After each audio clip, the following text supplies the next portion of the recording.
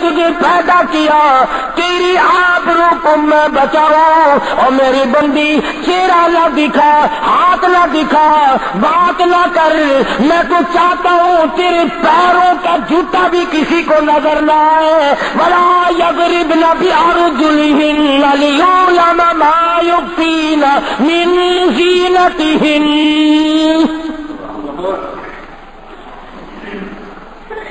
खुदा कहता है कि तेरे पैरों की, तेरे पैरों की आहट की भी मुझे आबरू अज़ीज़ है।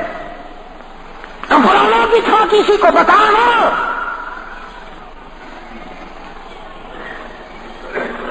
सारी चीज़ें अल्लाह पाक ने कुरान करीम में बतला दी।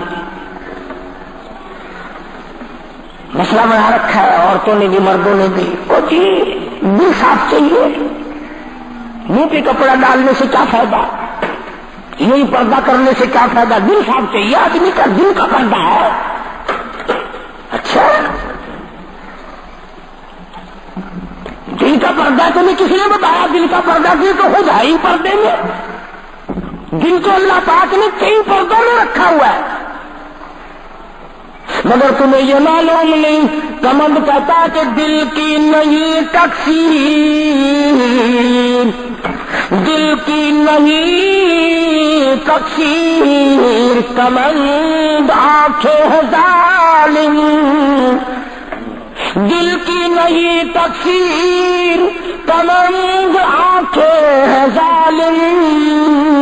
ये जाके न लड़ती, वो गिरफ़्तार न होता। आँखों ने पहले लड़ाई की दिल गरीब गिरफ़्तार होगा। और बड़ी अजीब बात कही। कताब से आँख लड़ी, मुझे डर है दिल का। कई जंगो जदल में मारा न जाए तू आँखें लड़ती हैं, हाथ लड़ते हैं, सर के इशारे काम करते हैं। दिल गरीब तो अंदर बैठा है, दिल की तो शरारत चलती है, वो वहाँ बैठा शरारत करता है आजा हरकत कर रहे हैं। इसलिए ये सारी चीज़ें वजाहत के साथ बताई है। इस्लाम ने किसके सामने आना और किसके सामने नहीं आना, किससे पर्दा करना और किससे नहीं करना, ये लोग जो कहते हैं कि पर्दे की वजह से औरतों के अंदर जरासीम पैदा हो गए। मैं कहता हूँ, अगर पर्दे में रहते रहते औरत के अंदर बदन में जरासीम पैदा हो गए, चलो कड़प कड़प के तेरे दरवाजे पे तो मर जाएगी, तेरे बूढ़े पे तो मर जाएगी मेरी बीवी और मदनी करीम सल्लल्लाहु ने पूछा, क्या चाहती है? क्या इरादा है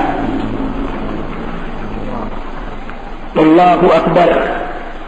काफरों को ये यकीन था कि रहमत का दरिया है। कर्म का दरिया है, काली कमली वाले के जाते अकदस सल्लल्लाहु अलैहि वसल्लम। आज हमारा यकीन नहीं।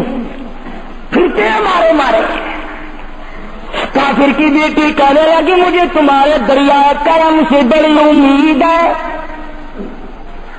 मुझे आपके दरियाए रहमत से बड़ी उम्मीद है। मेरी इज़्ज़त बचाओगे, मुझे बाइज्जत घर पहुंचाओगे, मेरे घर। जंगी कैदी को यूँ कौन छोड़ता है? बड़े बड़े सवालात पूछे जाते हैं। तकलीफें दी जाती हैं। बता, तुम्हारा और क्या प्रोग्राम है? तेरा भाई क्या करता है? तुम्हारा, तुम्हारे सरदार क्या करते हैं? नौजबिल्ला अगर हमारा जमाना होता, अरब की हसीन लड़की हो, खूबसूरत लड़की हो और गिरफ़्तार करके लाए, अगर हमारा जमाना होता तो क्या उसको बाइज्जत सरदार के सामने लाते? पहले ही इधर उधर कर देते। आप तो पक्के गुलाम हैं, बख्शे हुए लोग हैं, जन्नत के ठेकेदार हैं। अगले दिन एक मौलवी बकरी करता हुआ कह रहा था, रुपया रुपया, दे जाओ, जन्नत ले ही जाओ। जो जी पालिश रुपये कोई करदा नहीं, जन्नत लग जाती है। चलो, सस्ता, हर चीज़ महँगी है जन्नत सस्ती हो गई है। मदनी करीम सल्लल्लाहु अलैहि वसल्लम के अखलाक की तरफ़ इशारा करके लड़की काफरा कहने लगी, मुझे तेरे दरिया करम से उम्मीद है, आप शहशाह कायनात है, सारी दुनिया की तरफ़ खाने वाले हैं, मुझे बाईस तक मेरे घर पहुंचाओ।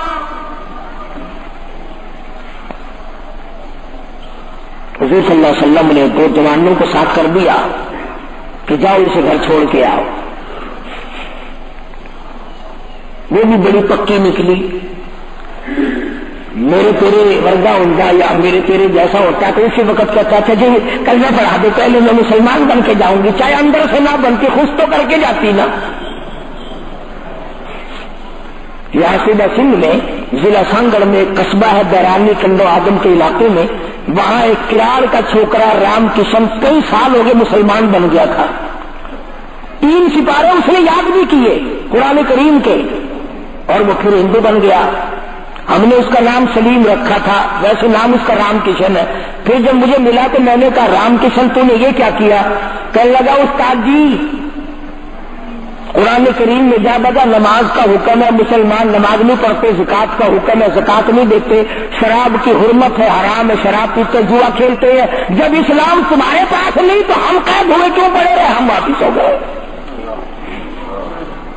हमारी बदमालियों की वजह से, हमारी बदमाशियों की वजह से ये सारी दुनिया के लोग काफिर मर रहे हैं। अगर आज हजूर की सीरत को आम कर दिया जाए, एक आदमी भी काफिर नहीं मर सकता। अभी कई दिन हो गए अखबार में बतला रहे थे कि अमेरिका का कोई बहुत बड़ा साइंसदान चाँद में गया। वहाँ उसने अजान सुनी। और फिर उसने कायरा मिस्र में वही अजान सुनी।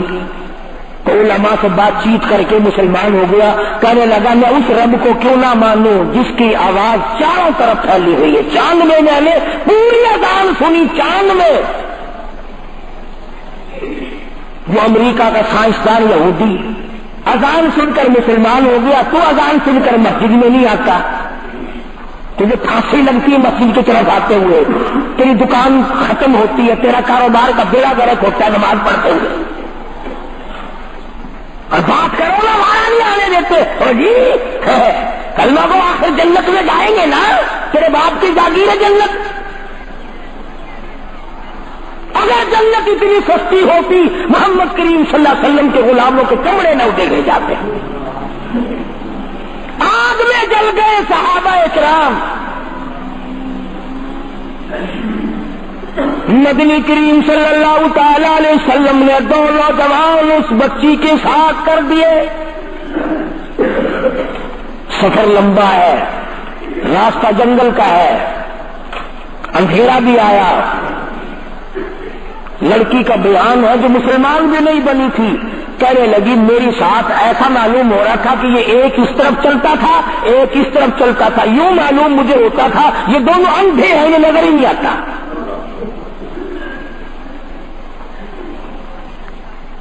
और जब ये काफरा लड़की अपने घर पहुँची तो भाई ने पूछा, बता, क्या गुजरी? जवानी है, शबाब है, हुसन है, जवान है, कदो कामत है, शक्लो सूरत है। क्या बनी? तू तो जंग में गिरफ़्तार होके गई थी। क्या किया? कुर्बान जाओ उस लड़की के बयान पे। कहने लगी, जो मेरी इज़्ज़त आबरू की हिफाजत मदनी करीम वसल्लम ने की, शहनशाह कायनात के गुलामों ने की। वो तू माँ जाया भाई भी नहीं कर सकता। भाई हो करके तू नहीं कर सकता, जो उन्होंने मेरी इज़्ज़त की हिफाजत की है। वो भाई भी समझदार था, करीब आके कहने लगा, फिर कुछ कमा के भी लाई? मतलब ये कि ऐसे दरबार से खाली तो नहीं आई, कलमा पड़ा कहने लगी, नहीं, कलमा नहीं पड़ा उसने कहा, वाह वाह, गजब कर दिया। ऐसे दरबार से खाली आ गई? दरबार हो मोहम्मद करीम वसल्लम का और तू खाली आ गई।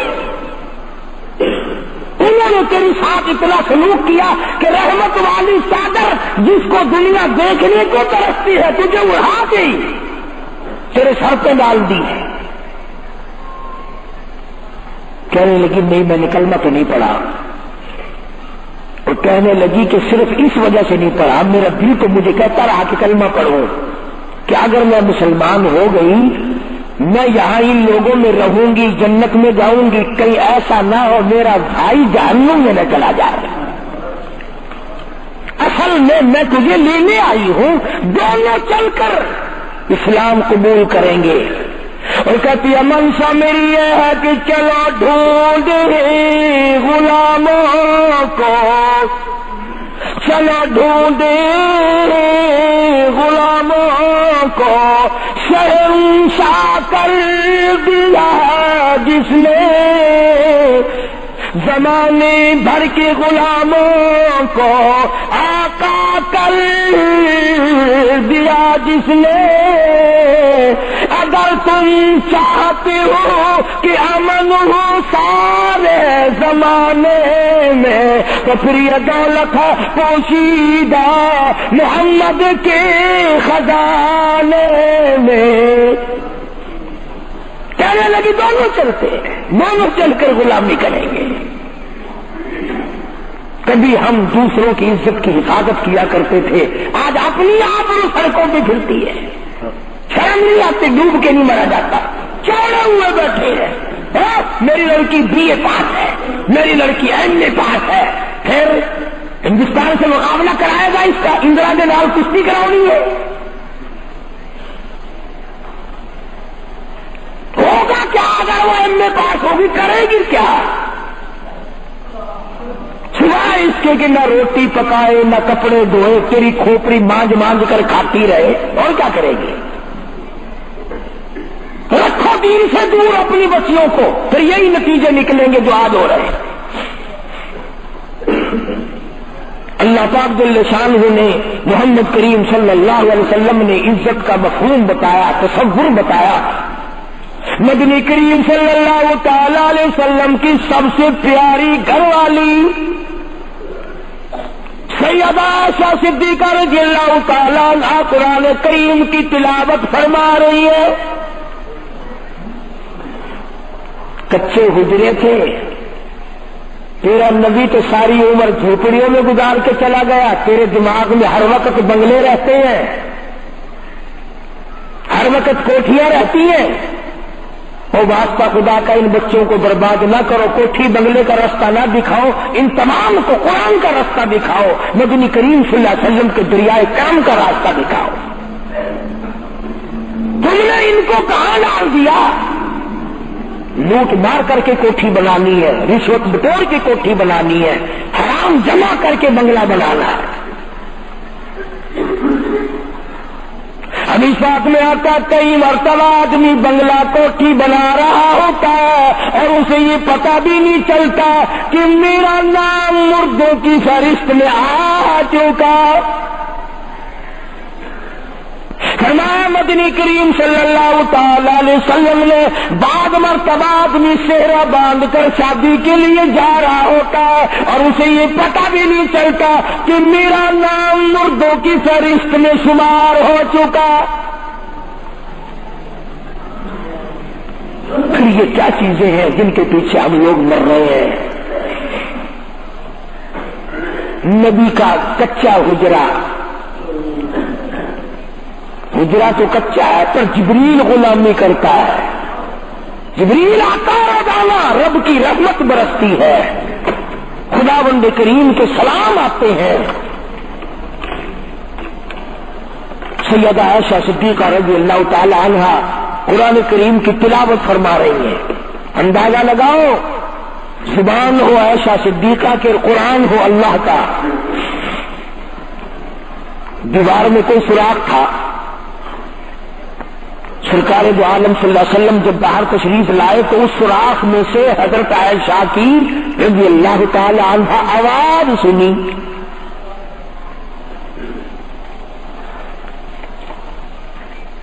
आपने अंदर जाकर हज़रत आयशा से ये नहीं फरमाया कि आहिस्ता पढ़ ले, हौली पढ़ ले, बाहर आवाज़ जाती है हौली हौली तिलावत कर।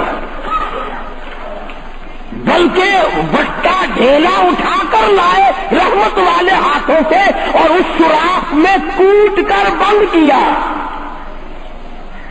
माँ की आवाज़ उम्मत को न सुनाई दे। कुरान की आवाज़, माँ की आवाज़, नबी की घरवाली की आवाज़। नबी ने उसका इंतज़ाम किया है। आज हमारा माशरा तुम्हारे सामने है। कितनी गाने वाली है, कितनी बजाने वाली है। उलमा कराम ने लिखा है कि मरते वक्त कब्र में उतारते वक्त, जनाजा पढ़ते वक्त अगर किसी की शक्ल बदल जाए, कोई तब्दीली आ जाए तो दिखाना जायज़ नहीं। अलबत्ता गाने नाचने वाली कंजरी की अगर शक्ल बदल जाए, फिर हुक्म कि ऐलान करके दिखाओ। बुला के दिखाओ। अब भला ये चीज़ें कौन बताए? हम जितने मौलवी हैं, पीर हैं, अगर कंजरी, बदमाश, हमें नजराना दे, असा तो ठेका चुका रहे दुआ करन दा, या अल्लाह, इन्हें कारोबारी च बरकत पावे। जैसा भी कारोबार होगा, हमने तो ठेका उठा रखा, बरकत की दुआ मांगने का जो शराब बेचता हो, शराब ज़्यादा बिके, जो जुआ खेलता हो, ज़्यादा जुए में पत्ते लगे जो जिस किस्म का कारोबार करता हो। और नजराने तो ज़्यादा देगा ही वो, जिसको बगैर मेहनत की कमाई मिलेगी। अगर आज तुम मुल्तान शहर में जाकर ये ऐलान कर दो कि कारी अदीब को जुए के पत्तों का पता है, जो जो नंबर वो बताए ना, सट्टे में वही लगा दो, कामयाब हो जाओगे। इंशाल्लाह शाम तक अगर एक लाख रुपया ना आ जाए तो लालच भेजना।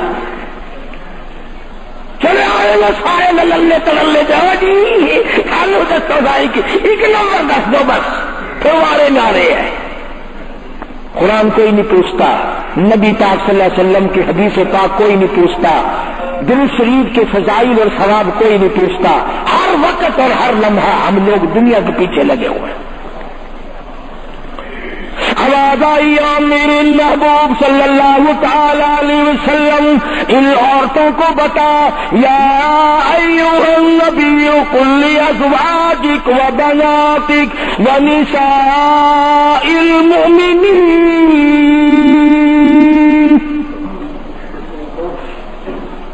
अजवाज मुतहरात से कहो, अपनी बेटियों से कहो, अल्लाह अल्लाह अल्लाह। सुबह अल्लाह अल्लाह पाक ने यह भी नहीं फरमाया कि दूसरों को कहो। फरमाया, पहले अपने घर से शुरू करो। कुल्ले अजवाजी पहला नंबर, मेरे महबूब, घरवालियों से पर्दा कराओ। व बनाती अपनी बेटियों से पर्दा कराओ। सैयदा आशा सिद्दीका पहले पर्दा करे। सैयदा उम्मे सलमा रजील्ला पहले पर्दा करे। सैयदा उम्मे हबीबा से पर्दा कराओ। सैयदा सफिया से पर्दा कराओ। सैयदा जैनब से पर्दा कराओ। सैयदा जवाहरिया से पर्दा कराओ। तमाम सैयदा महमूला से पर्दा कराओ। पहले अपने घर से शुरू करो, फिर बेटियों पे आ जाओ। रुकैया पर्दा करे, सैयदा जैनब पर्दा करे। सैयदा उम्मे कुलसोम पर्दा करे इलामीन ये तो बड़ी नबी की प्यारी बेटी है लगते जिगर है। सैयदा फातमा तो सारा सना वबना की काली कमली वाले, इस लगते जिगर से पर्दा कराओ।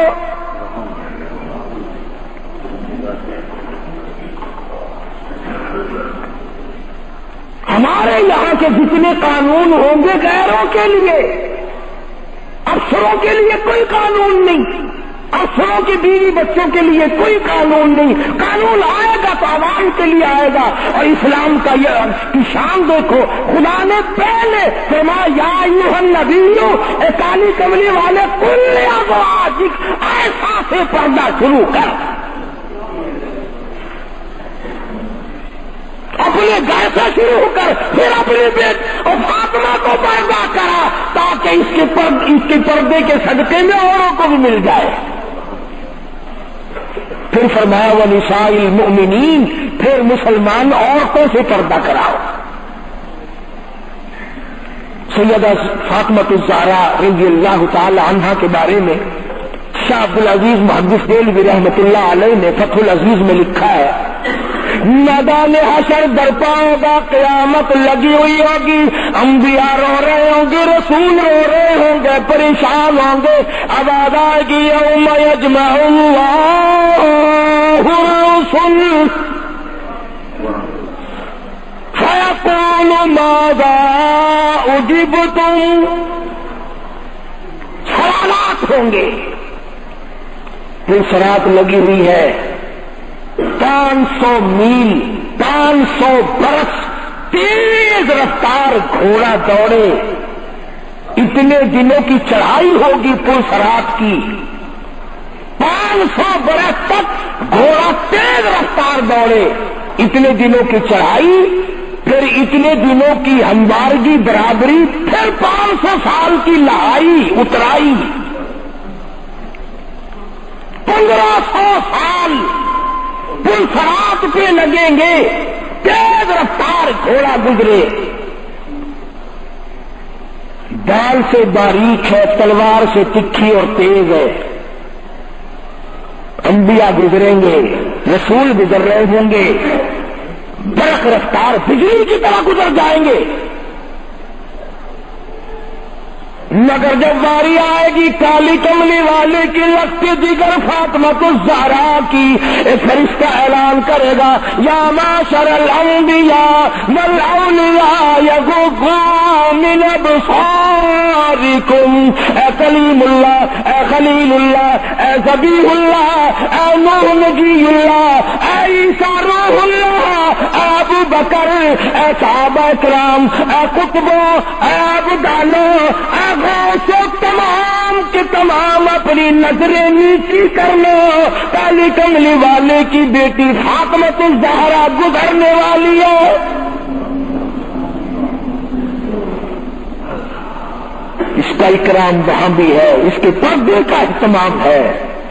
कुरान जाहू इसकी आजमत पे आखिरी वक्त में फरमाया है, शेर खुदा, अगर मेरा दिन में इंतकाल हो जाए तो जनाजा रात को उठाना। मेरे जनाजे पे भी किसी की नज़र न पड़ने है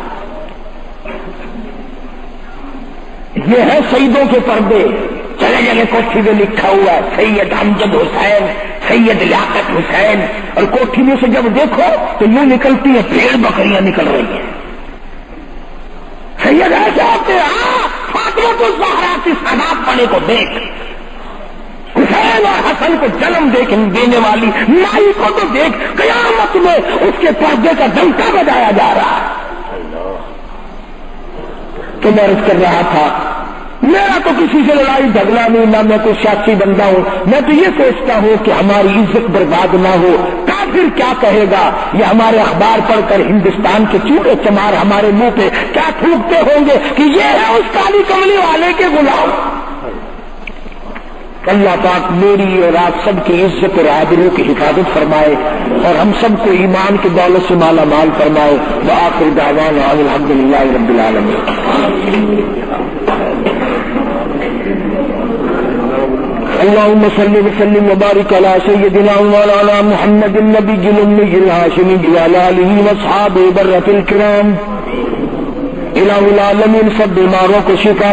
ता फरमा अल्लाह पाक ने आप हजरात ने दुआ फरमाई, आज रशीद साहब मदीना गिलास फैक्ट्री वाले कई दिनों के बाद बेचारे आए अल्लाह पाक से तो कामलाता फरमाए।